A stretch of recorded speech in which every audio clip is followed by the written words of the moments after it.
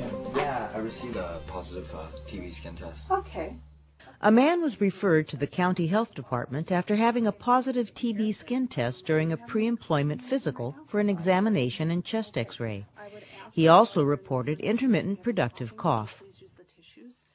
Common symptoms of pulmonary tuberculosis include a productive cough that lasts longer than two weeks, pain in the chest, bloody sputum, weakness, weight loss, decreased appetite, chills, fever, and night sweats.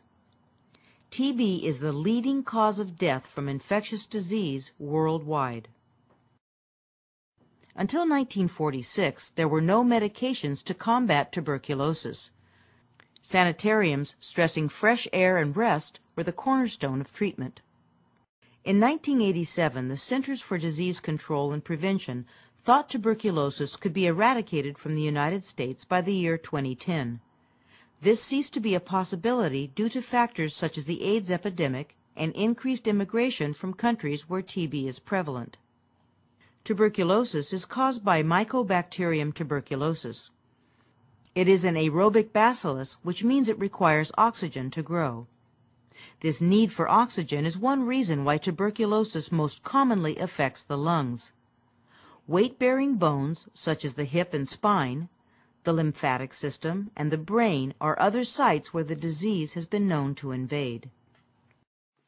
Pulmonary TB is transmitted when bacteria pass by very small droplets expelled during coughing or sneezing by the infected host are inhaled by a vulnerable person. The infection can spread to other susceptible organ sites via the vascular and lymphatic systems. The tubercle bacillus organism has unique properties that influence both the disease process and drug therapy. It multiplies slowly and may lie dormant in the body for years, being encapsulated or walled off in calcified tubercles. When dormant, it exists in sufficiently low numbers that it can be successfully treated with one drug, usually INH.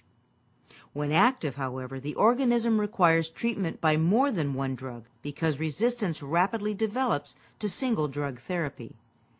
Inadequate or incomplete treatment can cause multiple drug resistance, a growing problem worldwide.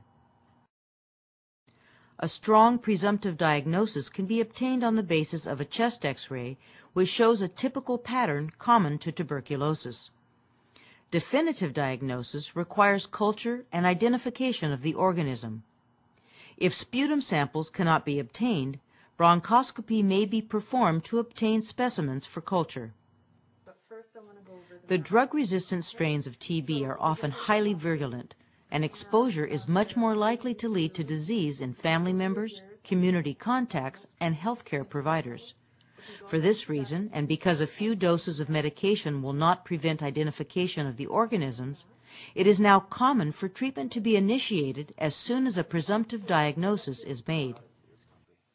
Individuals with TB will usually have a positive skin test reaction even when the disease is latent. They may, however, develop tuberculosis later in life if they do not receive preventative therapy. People may never develop TB despite hosting the bacillus, while those individuals whose defenses are lowered are more likely to develop active disease. Chemotherapy treatment, AIDS, alcoholism, intravenous drug use, poor nutrition, and crowded unsanitary living conditions all contribute to the spread of tuberculosis.